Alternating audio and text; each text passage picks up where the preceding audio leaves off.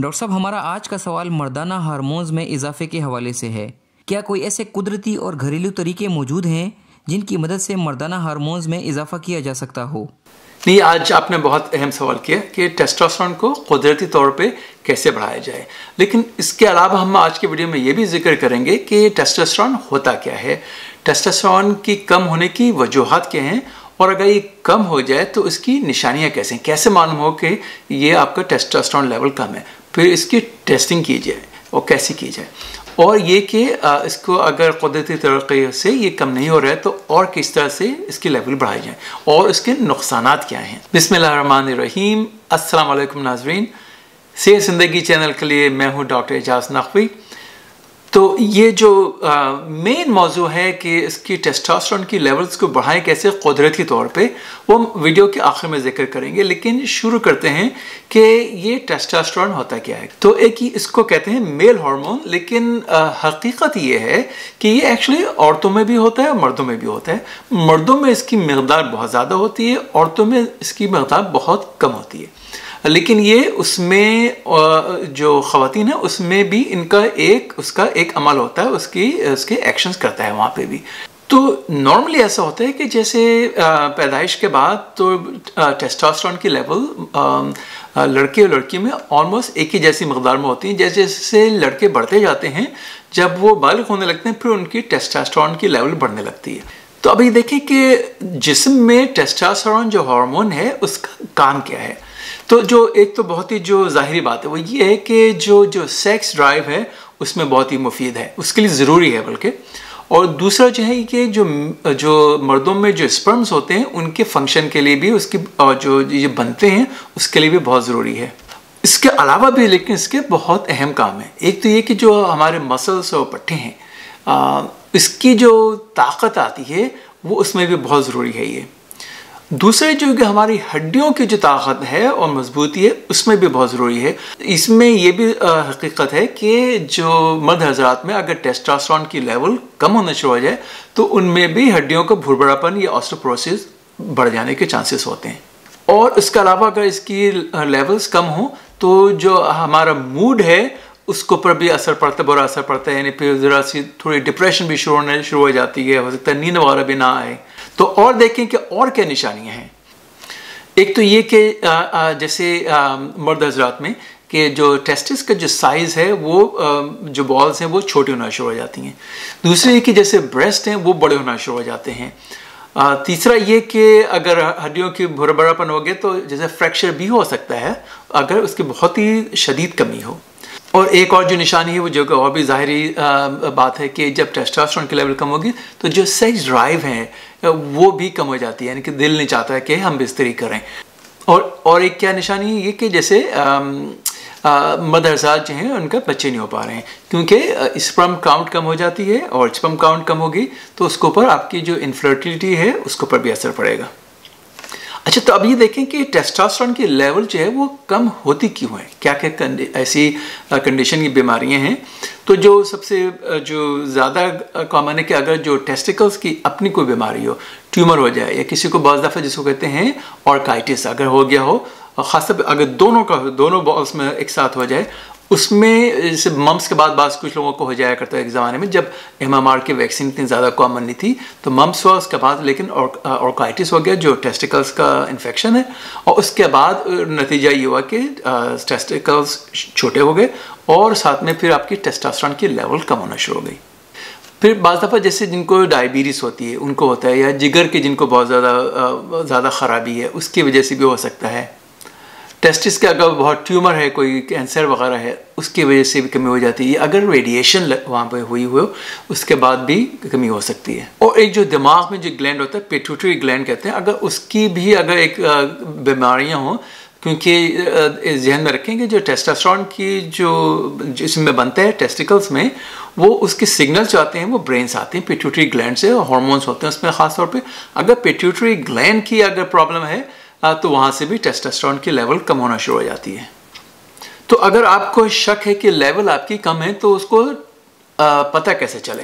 तो उसके लिए रियली बहुत ही सिंपल सा तरीका ब्लड टेस्ट होते हैं टेस्टोस्टेरोन लेवल चेक करने के लिए उससे पता चल जाता है कि लेवल कम है कि नहीं। अब देखें अगर लेवल आपकी कम मालूम हो गई है तो उसका ट्रीटमेंट कैसे करेंगे, इलाज कैसे करेंगे? तो उसका एक तो जो मेडिकल तरीका है कि उसमें आपने जो भी टेस्टास्ट्रॉन की रिप्लेसमेंट कहते हैं यानी आप टेस्टास्ट्रॉन लेना शुरू कर दें। उसके डिफरेंट कस्म हैं। या तो इंजेक्शन्स होते हैं जैसे उसमें ले सकते हैं। आ, कुछ लोग जो हैं वो पैचेस लगा लेते हैं। और आ, कुछ जो होते हैं जेल होती है क्रीम फॉर्म में वो भी लगाना शुरू कर सकते हैं।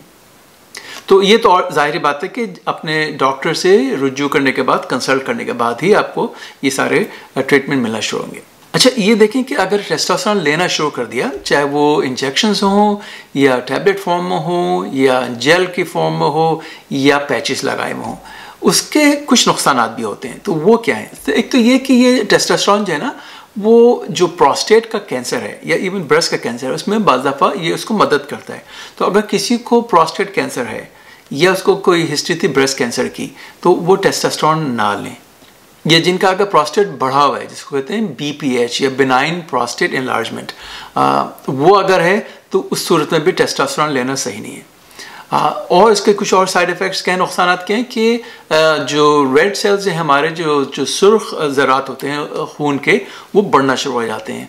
और अगर बहुत ज़्यादा बढ़ना शुरू हो जाए तो वो ज़्यादा उसमें और प्रॉब्लम होती है। तो और एक और क्या नुकसान है वो ये कि एक एक्नी या जो जिसको दाने और वहाँ से होते हैं ख़ासतौर पे चेहरे पे जो होते हैं तो वो भी उसमें आ, उसके चांसेस बढ़ना शुरू हो जाते हैं। तो अब आप ये देखें कि जो इसके कुदरती जो तरीक़े वो क्या हैं? वो हम गिनाएँगे आपको सात तरीक़े।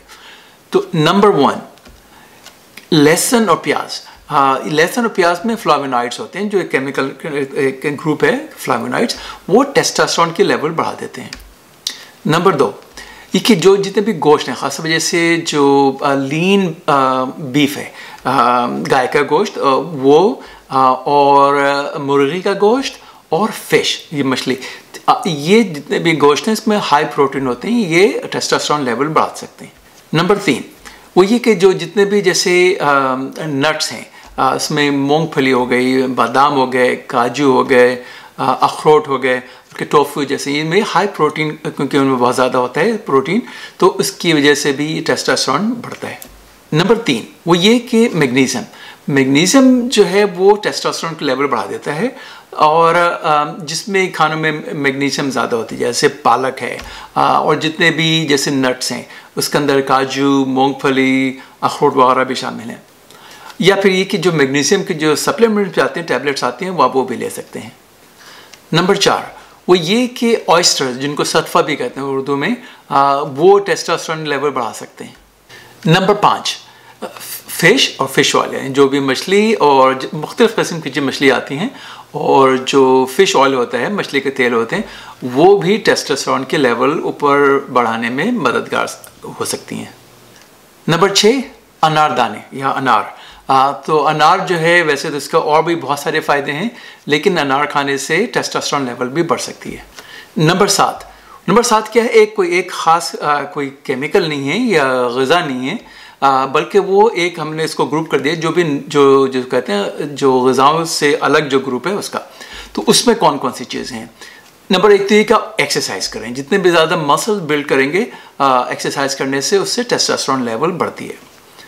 दूसरी क्या चीज़ है इसके अंदर, इसी ग्रुप में? वो है कि आराम से सोना। जब आप सोते कम हैं तो टेस्टोस्टेरोन की लेवल कम होना शुरू हो जाती है। और जितना सोएँगे ज़्यादा जो जो, जिसको कहते हैं फिजियोलॉजिकल स्लीप है, सात से आठ घंटे की जितनी अच्छी स्लीप होगी आपकी डीप आपका स्लीप होगी, अच्छी तरह से सोएँगे तो वो उसमें टेस्टोस्टेरोन लेवल बढ़ती है। और एक और कौन सा चीज़ है जो इसी ग्रुप में शामिल है, वो है कि जब आप जो भी आप मशरूब पिए तो उसमें गिलास में पिए या किसी और भी, लेकिन जो प्लास्टिक है उसमें ना पिए। खासप अगर गर्म करके तो क्योंकि उसके अंदर जो प्लास्टिक में होता है खासप अगर आप गर्म भी करने से तो बीपीए होता है। बीपीए जो है वो टेस्टास्ट्रॉन के लेवल को कम कर सकता है। तो ये जो सारे जो हमने कुदरती तरीके बताए वो करना अच्छे हैं। लेकिन इसके बावजूद भी अगर आपकी टेस्टोस्टेरोन की लेवल कम है और जो भी इसकी जो निशानियाँ हैं आ, वो भी आपको अगर असर कर रही हैं तो देखें ये याद रखें कि सिर्फ़ लेवल अगर कम है लेकिन आपको इससे कोई आपको फ़र्क नज़र नहीं आ रहा है कि आपकी एनर्जी भी अच्छी है आपका मूड भी अच्छा है आपको कोई आ, हम बिस्तरे में भी कोई प्रॉब्लम वगैरह नहीं हो रही है तो लेने का कोई ज़रूरत नहीं है फिर। आ, लेकिन अगर ये आपने सारी चीज़ें कर भी लें जो भी सारी चीज़ें जो कुदरती तरीके बताए हैं वो अगर करने के बाद भी आपको अगर लेवल्स कम हैं आपकी सारी निशानियाँ भी जो नहीं जा रही हैं आपको नींद भी ठीक से नहीं आती फोकस नहीं कर पा रहे हैं डिप्रेशन भी है लेवल्स भी कम है तो फिर डॉक्टर से रुजू करें डेफिनेटली और उनसे रुजू करने के बाद जो भी इनका तरीक़े हैं, हमने बताए थे ट्रीटमेंट है, वो आप उनसे डिस्कस कर लें अपने। और लेकिन वो भी आपके डॉक्टर भी आपको कंसल्ट करके बताएँगे कि कि कौन कौन से एहतियातें करना ज़रूरी हैं। वो आपके ब्लड टेस्ट भी करते रहेंगे ताकि ये मालूम होता रहे कि जैसे कोई प्रोस्टेट के, जिसमें खास तौर पर जो एक ब्लड टेस्ट होता है पीएसए वो ट्रीटमेंट शुरू करने से पहले पहले इसको टेस्ट करते हैं। वो हर तीन महीने छः महीने के बाद टेस्ट करते रहते हैं देखने के लिए कि जो पी एस ए है वो बढ़ तो नहीं रहा है क्योंकि वो फिर निशानी होती है कि प्रोस्टेट आपको बढ़ना शुरू हो रहा है उसकी वजह से। और अगर पी एस सी की लेवल बढ़ना शुरू हो रही है आ, तो डॉक्टर आपका जो है वो आपको मशवरा दें कि अब टेस्टोस्टेरोन को बंद करना पड़े। तो उम्मीद है कि आपको आज की वीडियो पसंद आई होगी। अगले वीडियो तक डॉक्टर एजाज नकवी को इजाज़त दीजिए। खुदा हाफिज़।